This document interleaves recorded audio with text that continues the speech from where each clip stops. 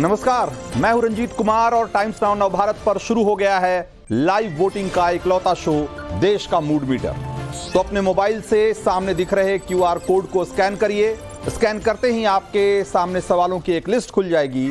उसे फटाफट भर दीजिए और लाइव जवाब सबमिट कर दीजिए। और हाँ आखिर में अपनी डिटेल ज़रूर भरिएगा, क्योंकि उसी के आधार पर हम हर रोज चार लकी वोटर को देते हैं इनाम।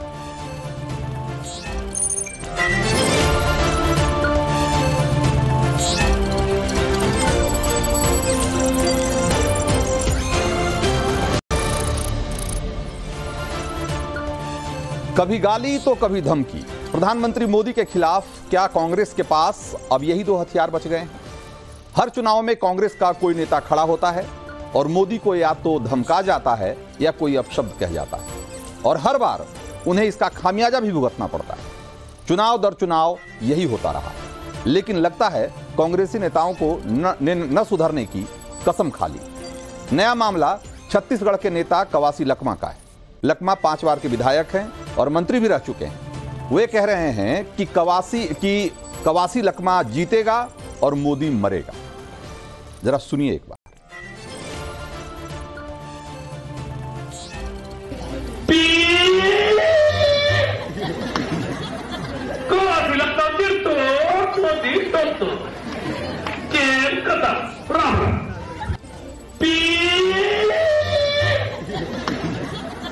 Cosa la dirto, così tutto. Che cosa? Bravo.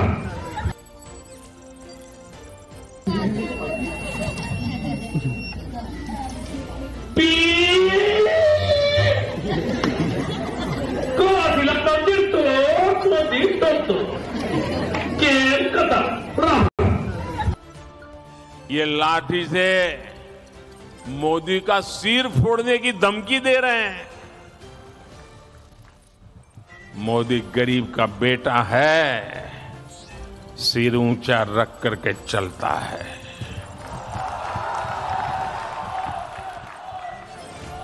Modi इनकी धमकियों से डरने वाला नहीं है। तो ऐसा लगता है कि कांग्रेस पार्टी में मोदी के लिए अब शब्द की होड़ लगी है। कौन कितनी बार और कितनी बड़ी गाली देगा, लोग इसकी होड़ में लगे हुए हैं। राहुल हो या खड़गे, मणिशंकर अय्यर हो या चरणदास। सवाल उठता है कि कांग्रेस पार्टी के पास क्या चुनाव आते ही इस तरीके से गाली या धमकी देने की ये कौन सी रवायत शुरू हो गई? जनता के मुद्दे और चुनाव में जो असली एजेंडे हैं, उसको भूलकर मोदी को अपमानित करके क्या साबित करना चाहती है कांग्रेस? क्या कांग्रेस को लगता है कि सिर्फ़ मोदी की को गाली देकर या मोदी को कोस कर वो चुनाव जीत जाएगी? अगर ऐसा नहीं है तो फिर ये इन नेताओं की इस तरह की बयानबाजी के क्या मायने हैं? सवाल और भी बहुत सारे हैं, बल्कि तीखे सवाल हैं कि एक तरफ़ मोदी हर रोज दो दो तीन तीन रैलियाँ कर रहे हैं।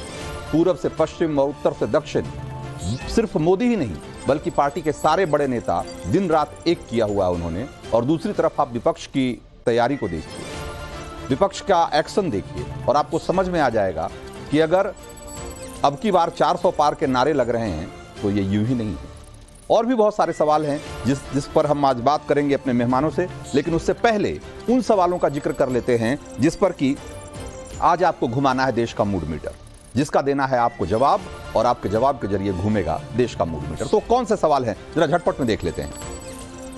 सवाल नंबर एक, क्या हार के डर से कांग्रेसी नेता मोदी को गाली दे रहे हैं? और ऑप्शन है आपके पास, हाँ, कांग्रेसी नेता बौखलाए हुए हैं। ऑप्शन बी नहीं, रस्सी जल गई, पर्यटन नहीं गई है। और ऑप्शन सी है, सभी दलों में अपशब्द बोलने वाले लोग हैं, सिर्फ़ कांग्रेस में नहीं। सवाल नंबर दो दिखाइए। मरेगा मोदी जैसे बयानों का चुनाव पर क्या असर होगा? मोदी और ताकतवर होंगे, ऑप्शन ए, कांग्रेस को और नुकसान होने वाला है। ऑप्शन बी और ऑप्शन सी, कांग्रेस को फ़ायदा होगा। सवाल नंबर तीन कांग्रेस के नेता बार बार मोदी को को अपशब्द क्यों बोलते हैं? ऑप्शन ए, कांग्रेस के पास कोई एजेंडा नहीं है, इसलिए बोलते हैं। ऑप्शन बी, सत्ता के लिए विशेषा सत्ता को अपना विशेषाधिकार मानते हैं। कांग्रेस के लोगों को लगता है कि सत्ता में रहना उनका उनका अधिकार रहा है। और अगर कोई दूसरी पार्टी के लोग या कोई दूसरा आदमी है तो ये तो गलत है। तो इसलिए बार बार ये फ्रस्ट्रेशन उनका इस रूप में निकलता है। और ऑप्शन सी है इसमें, किसी विकास की या किसी और भी जो जो राजनीतिक जो पॉलिसी है, उसको लेकर के वो चुनौती नहीं दे सकते मोदी को, विकास के मुद्दे पे चुनौती नहीं दे सकते। इसलिए वो इस तरह की गाली गलौज की भाषा पे उतर आते हैं। सवाल नंबर चार, विपक्ष की गाली अकेला मोदी सब पर भारी क्या सही साबित कर रहा है? ऑप्शन है ए, हाँ, मोदी के सामने सारे फीके हैं। ऑप्शन बी है नहीं, विपक्ष पूरी ताकत से लड़ रहा है। और ऑप्शन सी है कह नहीं सकते। सवाल नंबर पाँच आखिरी सवाल दिखाइए। क्या इस बार भी गाली और धमकी कांग्रेस के लिए बड़ी भूल साबित होने वाली है? हाँ बड़ी कीमत चुकानी पड़ेगी। Option A option B Congress गलतियों से नहीं सीखती और ऑप्शन सी इसका कोई असर नहीं होगा। आप क्या सोचते हैं इन सवालों के जवाब में? हमें फटाफट बता, बताना शुरू करिए मूड मीटर घुमाना शुरू करिए और हम आते हैं एक चलते हैं अपने मेहमानों के पास जिनसे कि हम उन सवालों पर चर्चा करेंगे, जो इन सवालों के अलावा भी इससे इतर भी बहुत सारे सवाल हैं। हमारे साथ चार खास मेहमान जुड़े हुए हैं। प्रेम शुक्ला हैं, प्रवक्ता बीजेपी, करण वर्मा, राजनीतिक विश्लेषक हैं।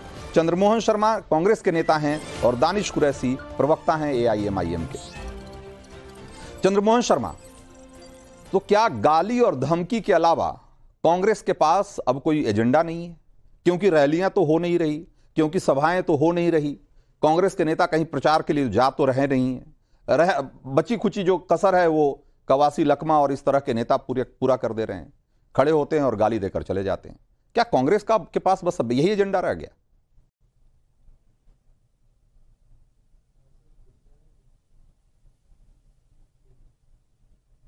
चंद्रमोहन शर्मा आपकी आ, आप म्यूट हैं उसको आ- आप अनम्यूट करिए जरा।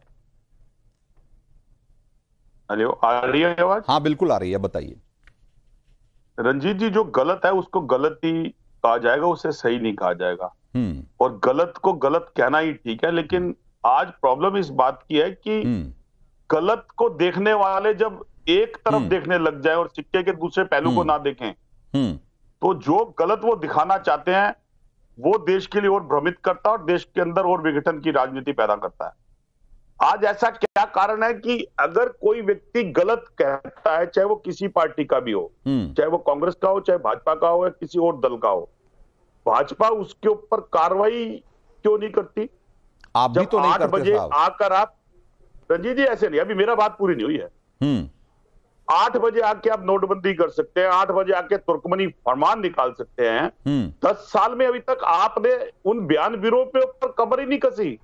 क्योंकि जब आपको अपनी सहूलियत के ऊपर राजनीति करनी होती है उस समय कुछ तंत्र जो है भाजपा का वो भी बयानबीर बन जाता है। उसमें कुछ मीडिया के लोग हैं और कुछ भाजपा के लोग हैं जो एक छाती ठोक कर और छाई बन के आ जाते हैं। मैं तो भी प्रेम शुक्ला जी से कहता हूँ कि आज इसके ऊपर निर्णय करवाने हैं देश के प्रधानमंत्री से कि किसी भी पार्टी के नेता ने अगर किसी भी नेता के प्रति अभद्र भाषा का प्रयोग करा तो उसके ऊपर सजा होगी एक नया बहुत अच्छा अंदर बहुत अच्छा सुझाव है बहुत अच्छा सुझाव है अच्छा आपका। सुझाव है। जरा जरा इन्हीं सुझावों के इन्हीं सब इन्हीं सुझावों के आलोक में जरा कुछ बातें मैं कहना चाहता हूँ। एक मिनट रुक जाइए चंद्रमोहन शर्मा बहुत इतनी अच्छी आपने बात कह दी। अब इसके बाद कुछ कहने की ज़रूरत ही नहीं है सर। एक मिनट रुक जाइए। मार्च 2023 सुखजिंदर रंधावा कहते हैं कि अडानी अंबानी को खत्म करना है तो मोदी को खत्म करो। फरवरी 2023 को। मोदी तेरी कब्र खुदेगी। कांग्रेस नेता नारा लगाते हैं। 20 जून 2022 को सुबोध कांत सहाय कहते हैं हिटलर की चाल चलेगा हिटलर की चाल म- की मौत मरेगा। 13 जुलाई 2022 को शेख हुसैन विधायक हैं कहते हैं कि जैसे गीदड़ की मौत होती है वैसे नरेंद्र होती है, वैसे नरेंद्र मोदी की मौत होगी। अजय राय 4 फरवरी 2022 को कहते हैं 7 मार्च को चुनाव के दिन मोदी को ज़मीन में गाड़ देंगे। 4 फरवरी 2022 नाना पटोले कहते हैं मोदी को मार सकता हूँ और गाली भी दे सकता हूँ। भाई इनके खिलाफ कौन सी कार्रवाई हुई? क्या अब कांग्रेस के नेता नहीं रहे? कौन सी कार्रवाई हुई है बताइए ना। अब मैं दे रहा हूँ जवाब। इसमें रंजीत जी प्रॉब्लम पता क्या है? मैं देश की खुशकिस्मती कहूँ या दुर्भाग्य कहूँ हम्म। कि जिस बात को मैंने बेबाकी से एक नेता विपक्ष का होते हुए कहा आप जैसा पत्रकार वापस कहा गया विपक्ष की बातें लेकर। अरे। सत्ता पक्ष का बयान आपको याद नहीं है? एक राष्ट्रपति को रेनकोट का कह देना। आपने आपने खुद कहा ना। आपने खुद कहा कि भाई कार्रवाई होनी चाहिए। आपने तो कार्रवाई की नहीं। उसके बाद उसके लिए विधवा कह देना पचास करोड़ की गर्लफ्रेंड कह देना ये सब भाई मेरा कहना है? ये है कि तो ठीक है आप तो आज आज जिस सवाल पे चर्चा हो रही है। नहीं नहीं आपका हाँ। प्रश्न खड़ा हो रहा है। आपने मैंने दो बात करी थी। मैंने संतुलन बात करी थी देश के लिए। हाँ। लेकिन आपने जो बात करी वो एक पक्ष को कुछ करने के लिए करी। नहीं मैं तो कह रहा है अब सवाल आपसे कर रहा हूँ तो अभी तो आप ही के पक्ष की बात होगी ना। जब आप एक तरफ़ बात करोगे तो फिर सवाल सवाल आपसे कर रहा हूँ अभी तो आप ही के पक्ष की बात होगी ना कि उनके पक्ष की बात भी आप ही से पूछ लू मैं। तो आपको वो बयान याद नहीं आता भाई ये ज्ञान की बात ये ज्ञान की बातें सिर्फ़ सिर्फ़ बीजेपी पे लागू होगी। क्या कि आप अपने पे लागू नहीं करेंगे? भाई और तो और ये बोटी बोटी वाले बोटी बोटी वाले इमरान मसूद को भी आपने टिकट दे दिया फिर से। भाजपा नेता का गिनवा देते बोटी बोटी वाले इमरान मसूद को फिर से टिकट दे दिया भाई साहब आपने। मैं मान जाता अगर आप एक बयान भाजपा नेता का गिनवा देते लेकिन आपने हाँ। नहीं गिनवाया। अच्छा क्यों नहीं तो आप नहीं आप आप ये चाहते हैं कि गालियाँ आप दें और हम बीजेपी नेताओं की की, की लिस्ट निकाल कर बैठ जाएँ। मतलब आप ये कह रहे हैं कि 10 सालों में बीजेपी के किसी नेता ने किसी भी विपक्ष के नेताओं के प्रति कोई अभद्र भाषा का इस्तेमाल नहीं किया आप सर्टिफिकेट दे रहे हैं। भाई आपने आपके मैंने तो पूरी लिस्ट बता दी। अभी लिस्ट और भी लंबी हो सकती है। और भी लिस्ट लंबी हो सकती है। मैंने मैंने कुछ लोगों की सिर्फ़ कुछ लोगों के सिलेक्टिवली मैंने आपके आपके पार्टी के कुछ नेताओं के हमने बयान सुनवाए। बाकी ऐसे तो पूरी लिस्ट है सोनिया गांधी से लेकर खड़गे तक मौत के सौदागर से लेकर और पता नहीं क्या क्या है। गंदी नाली और पता नहीं क्या क्या है तो भी लिस्ट है। लेकिन मैं कह रहा हूँ कि भाई आपने इन सब के खिलाफ इनमें से किसी एक के खिलाफ कोई कार्रवाई की हो तो बताइए। कोई एक कार्रवाई हुई हो, कभी किसी के खिलाफ तो बताइए।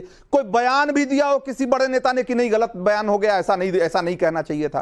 किसी किसी ने अफसोस भी जताया हो तो बताइए कि हाँ अफसोस जताया हमने।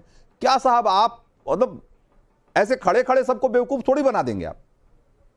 मैंने कोई बेवकूफ़ नहीं रंजीत जी दुनिया सुन रही है, इस बात को आपके चैनल पे प्रतिष्ठित चैनल है, और आज इस बात का वाद विवाद चला गया कि कांग्रेस के नेता ने अगर पक्ष और पक्ष में नहीं नहीं सर ये नहीं चलेगा चंद्रमोहन शर्मा ये नहीं चलेगा कि गालियाँ करने आप चला दें और पॉलिसी भी आप बनाएँ और आप आप उसको माने भी नहीं।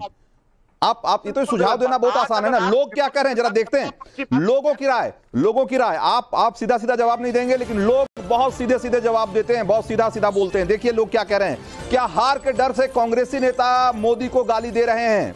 अट्ठासी दशमलव छह फ़ीसदी लोग मानते हैं कि हाँ कांग्रेसी नेता बौखलाए हुए हैं, इसलिए इस तरह की भाषा का इस्तेमाल कर रहे हैं। नहीं, रस्सी जल गई, लेकिन ऐठन बाकी है। ऐसा मानने वाले लोग साढ़े आठ फ़ीसदी हैं और सभी दलों में अब शब्द बोलने वाले लोग हैं। ऐसा मानने वाले करीब करीब तीन फ़ीसदी हैं। तो ये है लोगों की राय इस इस सवाल पर कि कांग्रेसी नेता आज की तारीख में मोदी के खिलाफ ये गाली गलौज वाली भाषा या धमकी वाली भाषा का इस्तेमाल क्यों कर रहे हैं? ये लोगों का लोगों का जवाब है, प्रेम शुक्ला। भाई, एक तरफ़, ये दिखता है कि प्रधानमंत्री मोदी सुबह से लेकर शाम तक कम से कम दो से तीन रैलियाँ तो ज़रूर कर रहे हैं। दूसरी तरफ़ ये दिखता है कि विपक्ष का कोई भी नेता मतलब छोटे स्टेट्स तो छोड़िए, बड़े स्टेट्स में भी नहीं दिख रहा। एक रैली नहीं हो रही, एक सभा नहीं हो रही। लेकिन इनको लगता है कि मोदी 400 पार का जो नारा है वो फेल हो जाएगा और ये जो जीत अगर हुई भी तो ये जीत जो है वो ईवीएम करा देगा। भाई आप कोई कोई आदमी कहीं कोई काम करता दिख नहीं रहा विपक्ष की तरफ़ से लेकिन इनको लगता है कि फिर भी इनको जीत जो है वो तोहफे में मिल जानी चाहिए। देखिए रंजीत जी जिस तरह से विपक्ष मुद्दा विहीन है हताश है और आदरणीय नरेंद्र मोदी जी की लोकप्रियता जिस तरह से पराकाष्ठा पर है आदरणीय मोदी जी न केवल भारत में बल्कि आप तो जानते हैं मॉर्निंग कंसल्ट जैसी ग्लोबल सर्वे एजेंसी विश्व के सारे नेताओं में लोकप्रियता के शिखर पर आदरणीय नरेंद्र मोदी जी को वर्षों से शिखर पर पा रही है। अकेले सिर्फ़ भारत की बात नहीं है। और अकेले प्रधानमंत्री आदरणीय मोदी जी हैं। भारत के चुनावी इतिहास में लोकतांत्रिक इतिहास में आदरणीय जवाहरलाल नेहरू जी उन्नीस सौ बावन से सत्तावन के बीच में उनकी लोकप्रियता का पैमाना जो है नीचे की तरफ़ आया था। सत्तावन में वो जो है केरल का चुनाव हार गए थे। नहीं तो दुनिया कामयाबी कामयाबी देख रही है और विपक्ष मोदी मोदी को गालियाँ दे रहा है। आज बारह राज्यों में सरकार है। हाँ। भाई रंजीत जी उसी पर वही मैं बता रहा हूँ कि लगातार गालियाँ देने का ये इनकी हताशा का परिणाम है इनका इनकी जो राजनीतिक कुंठा है हाँ। वो इस तरह प्रकट हो रही है बारंबार। आदरणीय मोदी जी लगातार भारत को विकसित बनाने के संकल्प को साकार करने की दिशा में स्वयं को झोंके पड़े हैं। भारतीय जनता पार्टी का एक एक कार्यकर्ता जो है भारत को विकसित राष्ट्र बनाने के लिए संकल्प लिए पड़ा है। राष्ट्रीय जनतांत्रिक गठबंधन का एक एक कार्यकर्ता इस बार राष्ट्रीय जनतांत्रिक गठबंधन को 400 पार पहुँचाने के लिए दिन रात परिश्रम कर रहा है। दूसरी तरफ़ आप स्वयं बता रहे हैं कि बताइए कहीं पर भी आदरणीय नरेंद्र मोदी जी को गालियाँ देने के अलावा वो बोटी बोटी काट देंगे कब्र खुदेगी हिटलर की मौत मरेगा और हम मार डालेंगे। इस तरह के बयान बारंबार देकर ये क्या हासिल करना चाहते हैं? और तर्क क्या देते हैं? कैसे कैसे शब्दों को लेकर आते हैं? अब मैं बहुत सारी बहसों बैठता हूँ। तो ये कहते हैं कि मोदी जी ने ममता जी को दीदी क्यों कह दिया? दीदी साहब किस किस किस शब्दकोश में गाली है मुझे नहीं पता है। गर्लफ्रेंड किस शब्दकोश में गाली है? आप जरा पता लगा कि मुझे बताइएगा रंजीत जी। आप तो संपादक के विद्वान है। मैं तो सामान्य राजनीतिक कार्यकर्ता हूँ। मैं नहीं जानता गर्लफ्रेंड किस किस शब्दकोश में गाली है। विधवा किस शब्दकोश में गाली है दीदी किस शब्दकोश में गाली है। लेकिन मौ, मौ, मौत मरेगा कब्र खुदेगी मोटी मोटी काट दूँगा ये न केवल गाली नहीं है बल्कि धमकी है। एक व्यक्ति को प्राण से मार देने की और एक नेता बात नहीं कर रहा है बारंबार बात की जाती है। हमारे यहाँ तो दिलीप घोष जी बंगाल के बड़े नेता हैं। एक उनका कमेंट आया उस पर बाहर राष्ट्रीय अध्यक्ष जी ने उनको नोटिस थमा दिया हाथ में। लेकिन सुप्रिया श्रीनेत इनकी जो है प्रवक्ता है उन्होंने कंगना रनौत के बारे में इतनी ओछी बात की। उस पर कभी किसी प्रकार की आपने देखा कहीं से कोई नोटिस थमाई हो? कैसे थमाएँगे? सोनिया गांधी कौन निकालेगा भाई? राहुल गांधी जी अभद्र बातें करते हैं कौन निकालेगा? मल्लिकार्जुन खड़गे अभद्र बातें करते कौन निकालेगा?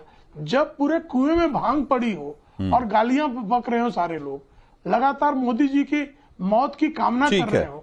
इसकी इतनी राजनीतिक निकृष्टता करण- हो करण वर्मा। उनसे क्या अपेक्षा कर सकते करण वर्मा क्या कांग्रेस को ऐसा लगता है कि जो कड़ी मेहनत है पसीना बहाना जिसको बोलते हैं कि भाई चुनाव में पूरी ताकत झोंक देना तो लगता है कि इसका विकल्प उन्होंने सस्ता विकल्प ढूंढ लिया है कि गाली दो चर्चा में आ जाओ और ये आपका चुनाव प्रचार हो जाएगा। करण वर्मा? देखिए रंजीत जी विनाशकारी विपरीत बुद्धि। हम्म। कांग्रेस के साथ कांग्रेस ने देख लिया है कई बार पर सीखती ही नहीं। जब जब कांग्रेस ने गाली दी है प्रधानमंत्री को प्रधानमंत्री इलेक्टोरली और गेन करके उठे वैसे तो प्रधानमंत्री के जो कार्य हैं वही से जनता का उन्होंने दिल जीत रखा है। पर गाली गलौज वाली राजनीति जनता को कतई पसंद नहीं है। हमारे मित्र चंद्रमोहन जी बैठे हैं ये बहुत ही सभ्य व्यक्ति हैं मैं इनको बहुत अच्छे से जानता हूँ। इन्होंने आज एक तरह से अपने कांग्रेस के साथियों का साथ नहीं दिया। अब ये इनकी व्यवस्था है, मैं तो इनसे कहूँगा एक कदम आगे बढ़ के। ये साफ़ साफ़ बोले कि इनके खिलाफ कार्रवाई होनी चाहिए।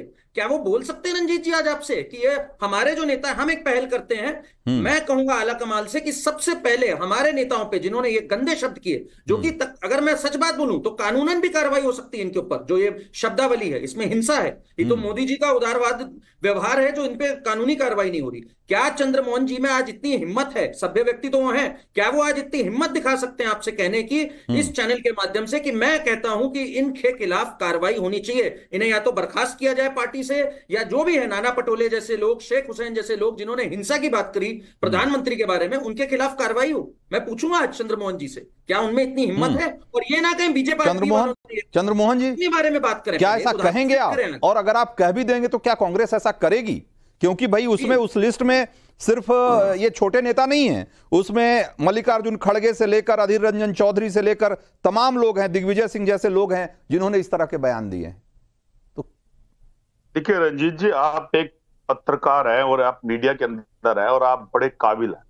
लेकिन अगर आपकी काबिलियत ये हो कि अगर आप जो बयान कह रहे हैं उसके अंदर से कुछ बयान भाजपा के भी निकाल दीजिए। मैं फ़ौरन कहने को तैयार हूँ जो मेरे मित्र वर्मा जी कह रहे हैं। लेकिन उस पर पार्टी पे मैं ये भी चाहता हूँ कि देश के प्रधानमंत्री अपने कहे हुए बयानों के अभी मेरी बात पूरी नहीं हुई। हम्म। अपने कहे हुए बयानों के ऊपर भी माफ़ी मांगे और उस पर भी कार्रवाई करें। हाँ। अभी मेरे मित्र प्रेम शुक्ला जी विद्वान है और वो क्या कह रहे हैं कि विधवा कोई विधवा थोड़ा होती है। उन्होंने कब हिंसा की बात को चंद्रमोहन ये जी। नहीं होता। और दीदी और दीदी- एक मिनट एक मिनट, एक मिनट। चंद्रमोहन जी आज अगर आज आपके लोगों ने अगर गालियाँ दी है तो आज उसी की बात होगी। आज आप माफ़ी मांगिए अगली बार से अगली बार अगली बार अगली बार बीजेपी से भी माफ़ी मांगने के लिए कहा जाएगा। एक परिपाटी तो शुरू करिए सर। एक परिपाटी अच्छी परिपाटी की शुरुआत तो करिए। साक्षात ही होने दीजिए। देखिए अब वैसे क्या है प्रेम शुक्ला जी क्या कह रहे हैं? हाँ। तो प्रेम शुक्ला जी मर मर जाना कैसे गाली हो सकती है फिर या मौत आ जाना। मौत तो सबको आनी है। अरे, हम सबको भी आनी है। एक मिनट एक मिनट रंजीत जी एक मिनट। मैं बात मेरा मेरा सारांश पूरा होने दीजिए। हाँ। मेरा सारांश पूरा होने दीजिए। नहीं बात सुन रहा हूँ। मेरा सारांश पूरा होने दीजिए जहरीला जहरीला सांप जहरीला सांप और पगला जो जहरीला सांप और पगला ये ये ये अच्छे शब्द हैं क्या? अच्छे शब्द हैं क्या ये चंद्रमोहन जी? ये मल्लिकार्जुन खड़गे और मल्लिकार्जुन खड़गे और और अधीर रंजन चौधरी बोल रहे हैं। मानसिकता मत है क्योंकि आप अपने फ़ायदे के लिए मोल्ड करना चाहते हैं बात को और आपके पास आज मुद्दे नहीं है तो आप मुद्दे कौन से ढूंढते हैं? जो ऐसा व्यक्ति कोई बात कह दे जिसको दुनिया जानती नहीं। मुद्दा तो आपको अगर अगर आपके पास इतने मुद्दे हैं आपके पास इतने मुद्दे हैं तो यही तो पूछ रहा हूँ मैं चंद्रमोहन चंद्रमोहन जी यही तो पूछ रहा हूँ कि कहाँ है राहुल गांधी? तो कहाँ है राहुल गांधी? हम तो रोज देख रहे हैं कि कि प्रधानमंत्री की रैलियाँ गृह मंत्री की रैलियाँ बीजेपी अध्यक्ष की रैलियाँ अरुणाचल से लेकर और कन्याकुमारी तक रोज हो रही है। सारे लोग सारे लोग दिन में तीन तीन चार चार रैलियाँ कर रहे हैं। राहुल गांधी क्या कर रहे हैं? वायनाड के बाद कहाँ गए? भाई दो उनकी छोटी रैलियाँ हुई है। अभी और वो भी दो जगह। सात दिन में दो जगह राहुल गए हैं और और प्रधानमंत्री मोदी रोज तीन जगह जा रहे हैं। तीन जगह लोगों से बात कर रहे हैं रैली कर रहे हैं। तो भाई आपके पास मुद्दे हैं तो जाइए ना जनता के बीच में।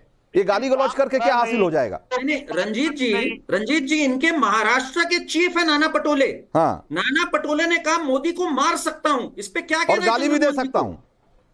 मार सकता हूँ गाली दे सकता हूँ। हाँ। ये शब्द कब बोले प्रधानमंत्री ने इस तरह के शब्द? और आपका कोई छुटभैया नेता नहीं है।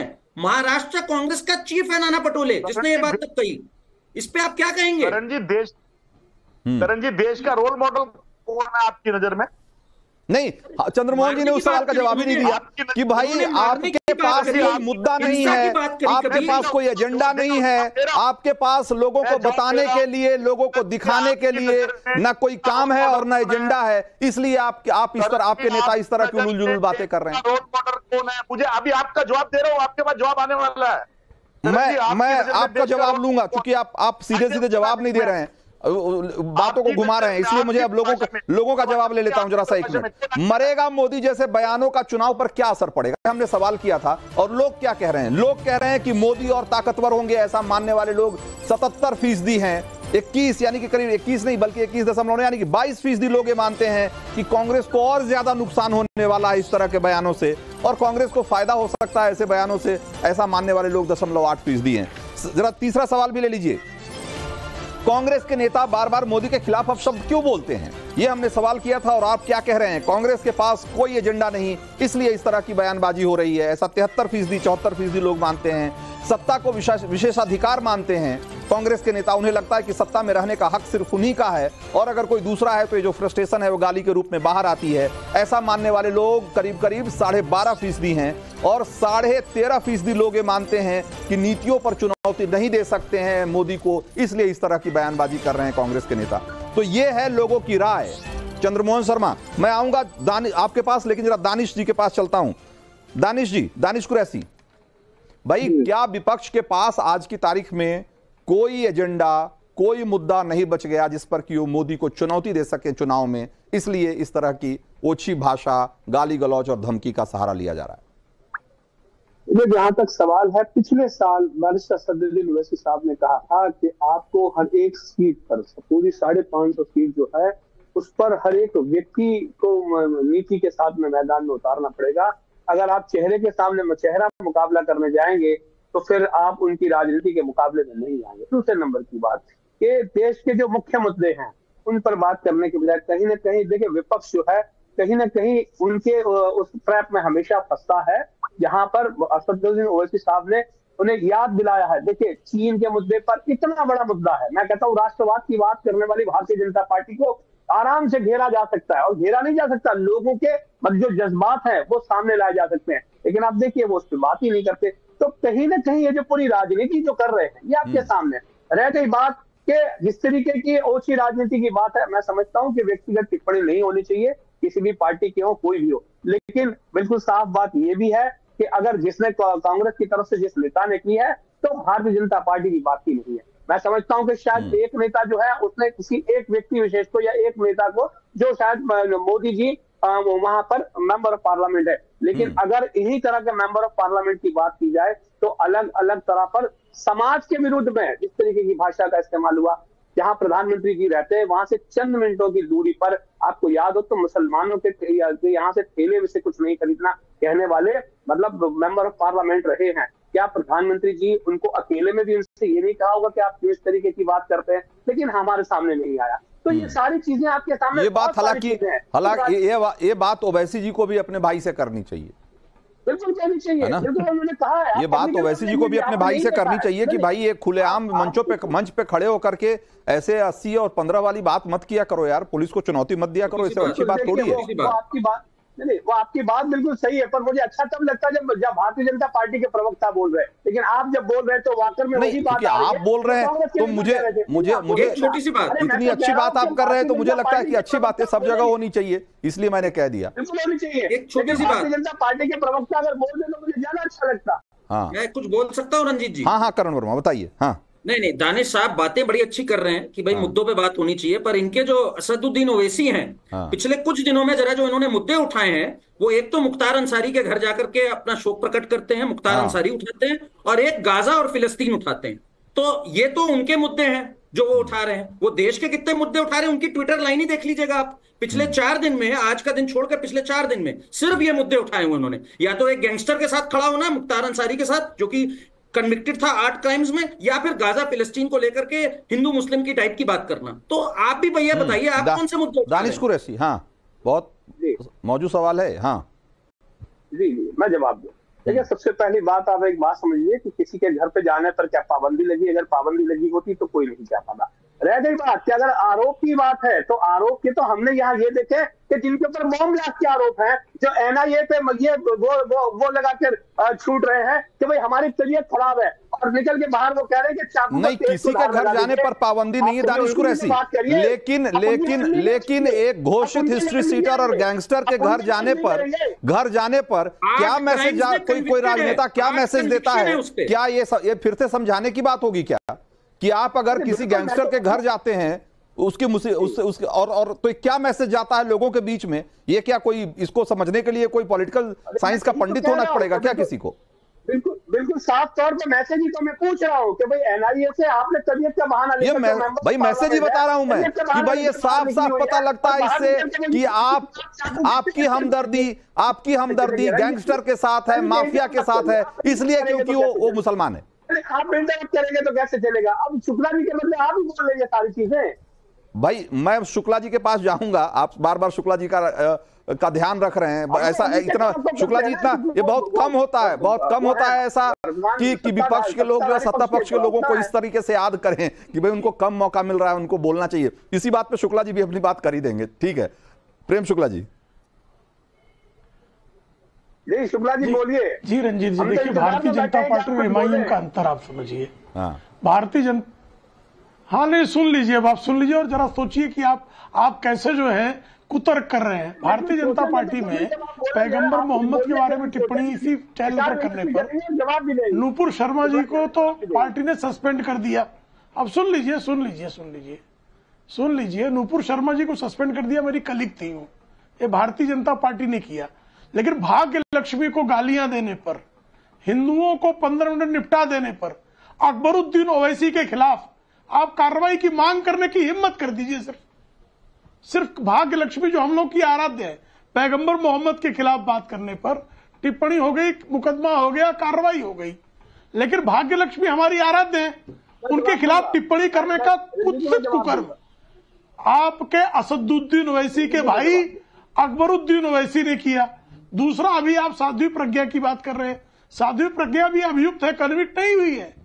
फिर भी उनको एनआईए जो है कोर्ट उनको अलाउ भी नहीं करे बीमारी पर। लेकिन मुख्तार अंसारी जो सजा याफ्ता अपराधी है, जिसके अपराध प्रूव हो गए हैं आठ आठ मामलों में कन्विक्ट है, उसके यहाँ आपके असदुद्दीन ओवैसी जाए, सांप्रदायिकता का विकृत प्रदर्शन करे, लेकिन आपके लिए आदर्श है। तो आप किस तरह से विकृत मानसिकता के व्यक्ति हैं? ये तो स्वयं स्वयं सिद्ध कर दे रहे रंजित कुमार जी के शो पर ही कि असदुद्दीन ओवैसी जो स्वयं कुतुब शाही मस्जिद का सौदा कर लेते हैं। कुतुब शाही मस्जिद हैदराबाद की बेच कर सौदा कर लेते हैं। और सड़ी हुई बाबरी के लिए रोज जो है हुंकार भरते हैं। तो जो आदमी मस्जिद बेच के खा जाए कुतुब शाही मस्जिद बेच के खा अगर आप सच्चे मुसलमान है, तो जरा एक शब्द बोल के दिखाइए। है कुतुब शाही मस्जिद बेच के खा गए। ये फैक्ट है सबके सामने और तेलंगाना की विधानसभा के। जो है बनने में वहाँ है। माफ़ करा दी अरे काहे चिल्लाने लगे भाई। मैंने असदुद्दीन है, ओवैसी के बापों की सिर्फ़ दो है, सूची ठीक है। तो आप इतना जल्दी भाषा को लेकर सारा सारा झगड़ा भाषा को लेकर ही तो है जरा हम जरा कुछ और सवालों के जवाब ले लें इस बीच में जरा ये ज़रूरी है कि लोगों की राय भी इसमें शामिल होती रहे जरा चौथा सवाल का जवाब बताइए कि लोग क्या कह रहे हैं विपक्ष की गाली, अकेला मोदी सब पर भारी को सही साबित कर रहा है क्या? करीब अट्ठानवे फ़ीसदी लोग मानते हैं कि हाँ मोदी के सामने सारे फीके हैं और एक दशमलव दो फ़ीसदी लोग कह रहे हैं कि नहीं, विपक्ष पूरी ताकत से लड़ रहा है। ये जरा देखिए कि विपक्ष की ताकत या विपक्ष की मेहनत, दोनों को क्रेडिट देने वाले लोगों की संख्या कितनी कम है, इसी से अंदाज़ा लगाइए। क्या इस बार भी गाली और धमकी कांग्रेस के लिए बड़ी भूल साबित होने वाली है? हाँ बड़ी कीमत चुकानी होगी ऐसा मानने वाले लोग करीब करीब तिरासी फ़ीसदी हैं और कांग्रेस गलतियों से सबक नहीं सीखती। ऐसा कहने वाले लोग पंद्रह फ़ीसदी हैं, सिर्फ़ डेढ़ फ़ीसदी लोग कहते हैं कि इसका कोई असर नहीं होगा। चंद्रमोहन जी, सवाल यही है कि क्या कांग्रेस अपनी गलतियों से भी सबक नहीं सीखती क्या? 2007 से 2022 तक ऐसे पाँच मौके आए हैं जब आपने मोदी को गालियाँ दी और हर बार मुँह की खाई है। कब सीखेंगे साहब? देखिए आप चिंता भी करते हैं कांग्रेस की करनी पड़ती है, विपक्ष है भाई सबसे। और आप आप हाँ। चाटू आप आप बड़े आराम से मीठी मीठी चाटू का भाजपा के प्रति कर देते हैं। पूरी। खत्म होने आ गई रंजीत जी ने भी मेरी, पट भी मेरी वाली बात है। रंजीत जी ने एक प्रश्न नहीं पूछा कि संसद के अंदर एक चुना हुआ सांसद एक चुने हुए सांसद को भाई मैंने जो कहा अगर वो फैक्चुअली गलत है अगर वो बात अगर सही नहीं हो मैंने कोई गलत बात कही हो तो आप मुझे बता दें वरना आप आरोप लगा के मुझ पर आरोप लगा के क्या हासिल कर लेंगे? आपने प्रश्न नहीं पूछा आपने ये नहीं पूछा कि एक चुना हुआ सांसद सरेआम महिलाओं के साथ अभद्रता करता रहा उस पर कोई कार्रवाई नहीं हुई। लेकिन आपका प्यार ही कांग्रेस के प्रति इतना है अब आप अब आप बढ़ अब आप अगली बार से आइएगा तो सवाल भी लेकर आइएगा मेरे लिए। कि कि रंजीत जी आज आप मुझसे ये सवाल पूछिएगा मैं सिर्फ़ इन्हीं सवालों का जवाब दूँगा। मैंने मैंने अपनी पहली डिबेट में कहा था कि जब आप बात करोगे तो विवाद सहना पड़ेगा। जब आप प्रश्न करोगे तो उसका हल मिलेगा। आप वाद पे विवाद पैदा करते हो क्योंकि आपका पूरा तीक्षण हमला कांग्रेस के प्रति रहता है जबकि आपने एक शब्द नहीं इस्तेमाल लीजिए। करा ये भी आपकी आप- चाल तो नहीं है रंजीत जी तो मुस्लिम समाज के प्रति केवल अब आप में से दो प्रवक्ता बोलेंगे कि देखो कांग्रेस का मुस- आप आप आपकी आवाज़ ब्रेक हो रही है हाँ। चंद्रमोहन जी कह सकते हैं कि साजिश की हाँ।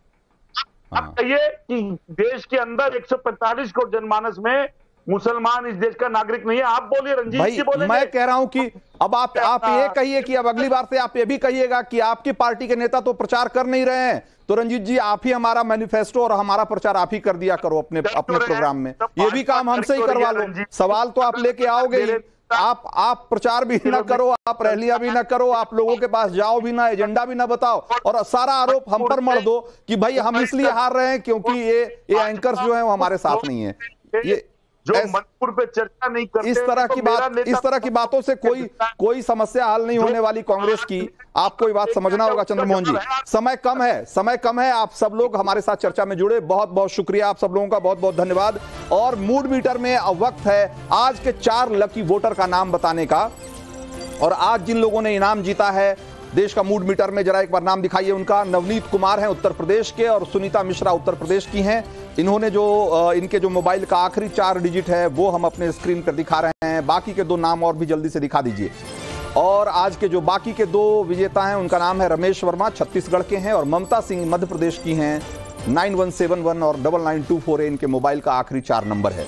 तो आज देश का मूड मीटर में इतना ही। कल फिर हाजिर होऊँगा किसी और बड़े मुद्दे के साथ।